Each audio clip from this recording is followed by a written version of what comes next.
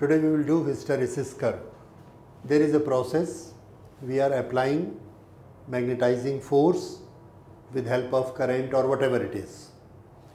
And magnetizing field what we are applying is H and the magnetic field developed inside the ferromagnetic material is B. This we have done in the previous lecture.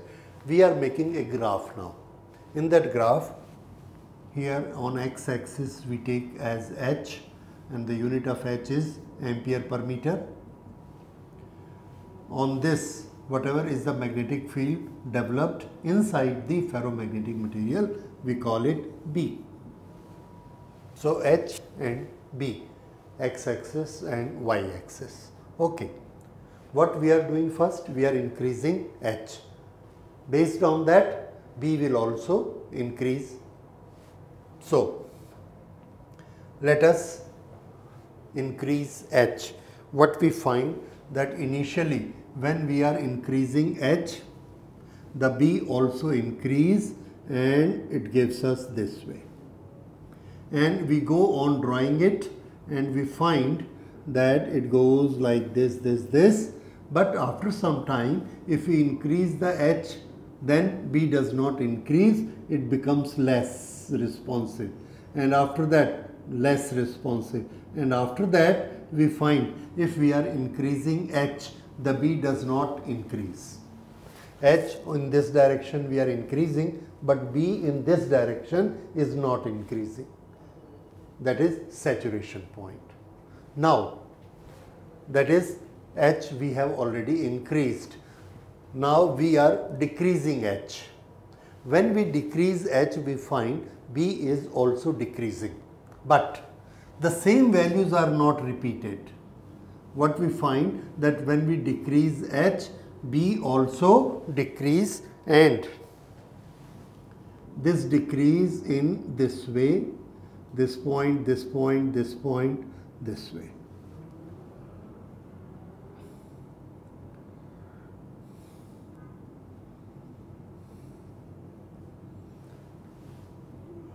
So H decreasing, decreasing, decreasing, B is also decreasing, coming down. When H is this much, B is this much. When H is this much, B is this much. So we make a graph this way and now you see how much is H here. H has become 0.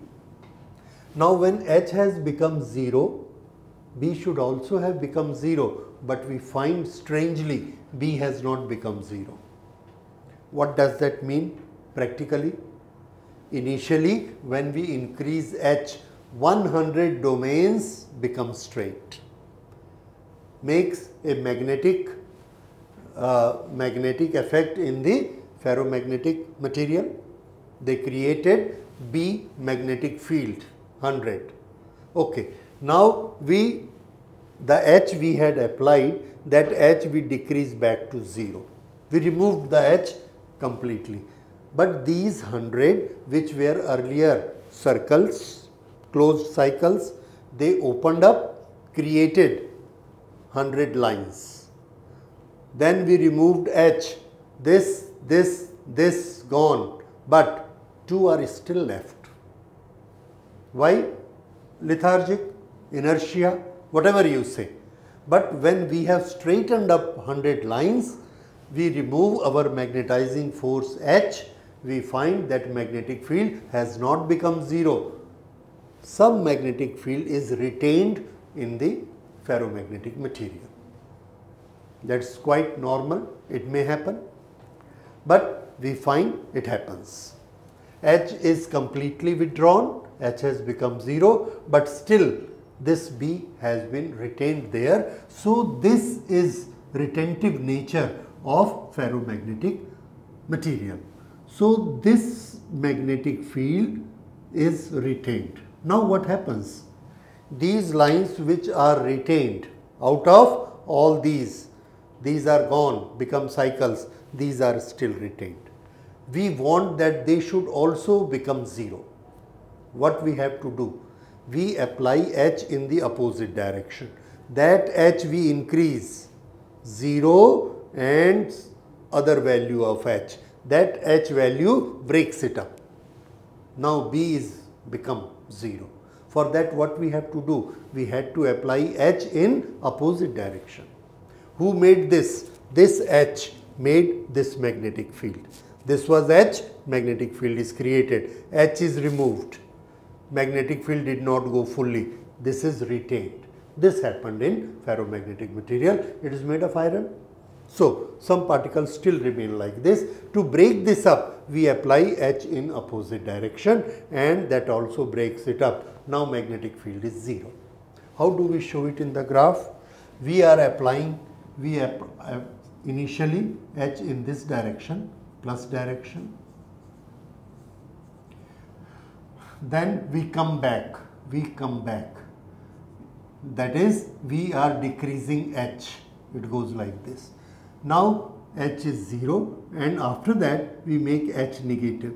When we make H negative, this B decrease here, decrease here Again H is so much negative that the complete B which was retained here has become 0. It is this point.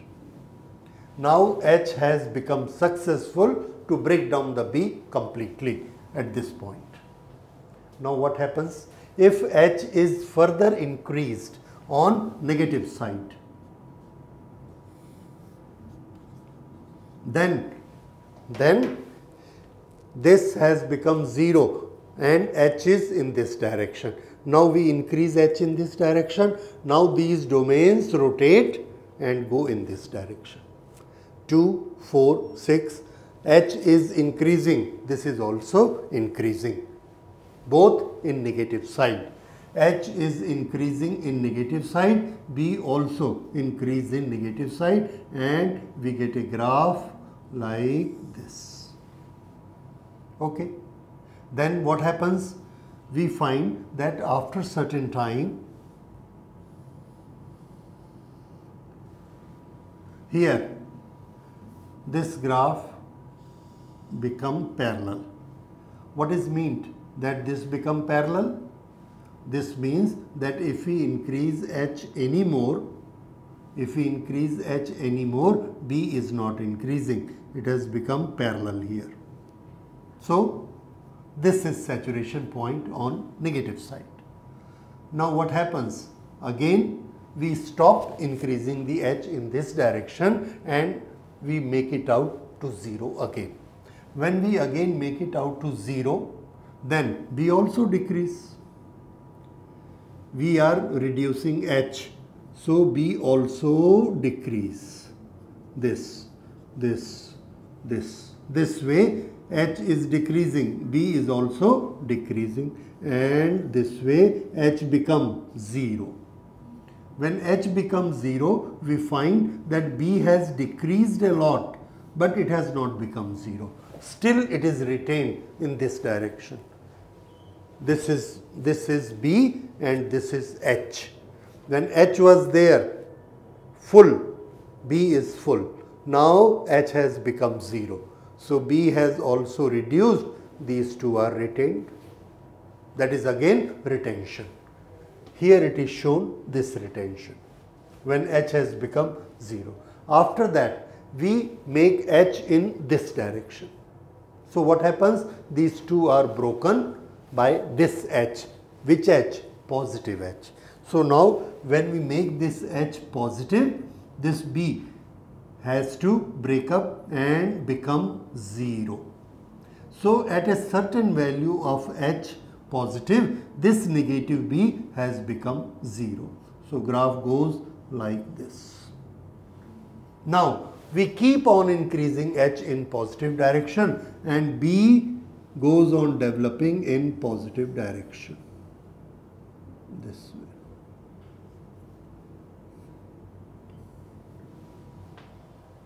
So this is the path of this graph. Now at a certain value of h, b has become maximum. This is b naught, maximum. Now h again returns. becomes 0, B becomes here. Now H goes to negative, then B goes on decreasing, become 0. Then H goes to negative side, then B goes on negative side. Again H goes on positive side, B follows this route. So this is the route made by this oscillating H and oscillating B. You can make it a smooth curve like this. Now this was initial process that was only for once. But after that when magnetization demagnetization start then this is the path. What is magnetization and demagnetization? This is B is equal to 0 demagnetization. This is magnetization. Now, this is demagnetization, demagnetization, demagnetization here. What is the value of B here? 0. Demagnetization done. Again, magnetization in this direction. Magnetization. Again, demagnetization. Again, magnetization, demagnetization, magnetization, demagnetization. So this process goes on within the ferromagnetic material and this is H magnetizing force we are applying in the solenoid. So H and B. This graph or this curve is known as hysteresis curve. So in this hysteresis curve what is happening? magnetization and demagnetization taking place under oscillating H. If I write this then H is what? Magnetizing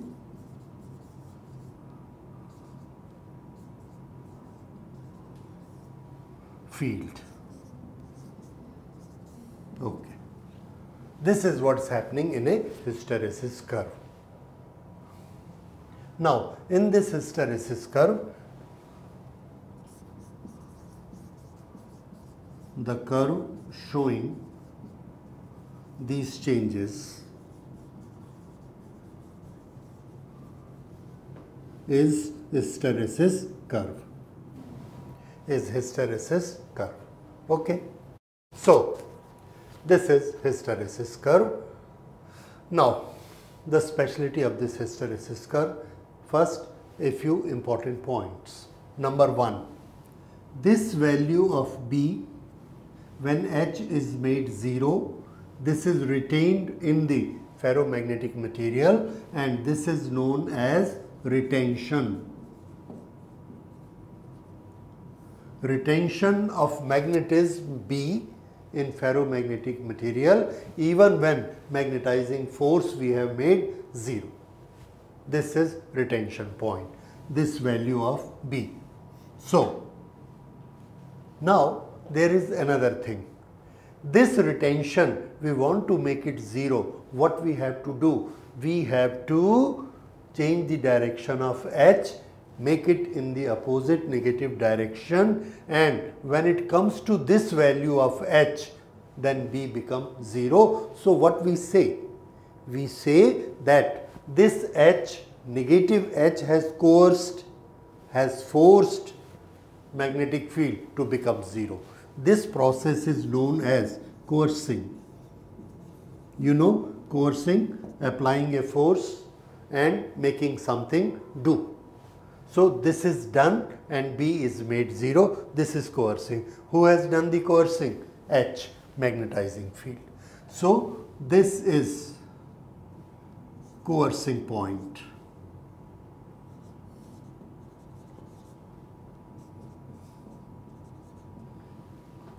Okay. So these are two important points in a hysteresis curve. When H will be made 0, when H is removed, how much magnetism is remaining in the ferromagnetic material. This is known as retention. Again, if we want to break down this magnetic field, how much opposite H is required? That is known as coercing point. So, or coercion we can call it. So, these are the two important points to understand with reference to when we are going to make them temporary and permanent magnets. Okay. So, these are the two points. Other thing we need to study. First, I will write the definition of these two points. Okay, so here is definition of retention. Retention is that value of magnetic field which remain in the ferromagnetic material. This is important. Remain or retained in the ferromagnetic material when magnetizing force H is made 0. Similarly, we can make a definition of retention. See, coercion is that value of H magnetizing field in opposite direction which makes the retained magnetic field as 0. So, this is coercion and that was retention. Now, after this another thing, what is the importance of this curve? The answer importance of this curve is the area within the curve. Area within the curve is this area.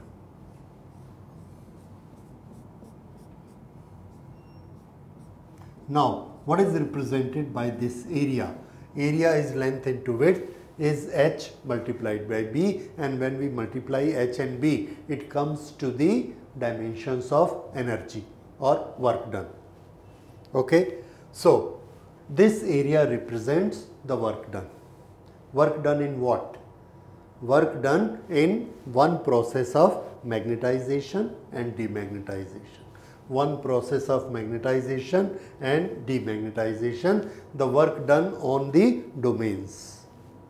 That means if by H we are applying an energy of 100, then what we find that out of 100 10 is lost in rotating or in magnetizing the material and what we get on the what is transformed what is used is 90 this again this we are giving 100 100 100 100 inside the ferromagnetic material what we get? 90 90 90 90 where is the 10 gone? Answer 10 is gone in the process of magnetizing, demagnetizing, magnetizing, demagnetizing.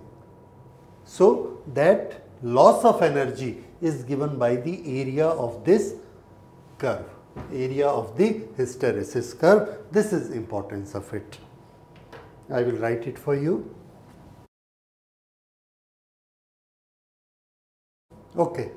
So, Area of hysteresis curve is the work done in process of magnetization and demagnetization. This is loss of energy during each cycle. There are certain machines where we have to do this. Without that the machines will not work. Motors are there, transformers are there and all our industry is full of these machines. And in that every time we are doing magnetization and demagnetization. Okay? So, we have to lose energy that is the demand of the process.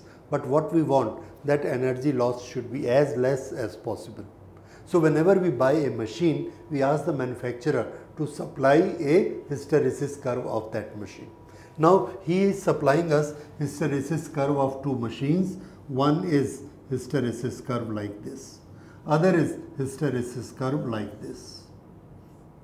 We have to buy either machine 1 or machine 2, we will measure this area. In whichever case the area is less, we will prefer that machine because for each cycle the work lost or the heat lost is less. So, this is the importance of hysteresis curve. When we see the hysteresis curve has a large area, we will outright reject the machine because the losses are very high. So, we want hysteresis area should be as small as possible. This is important.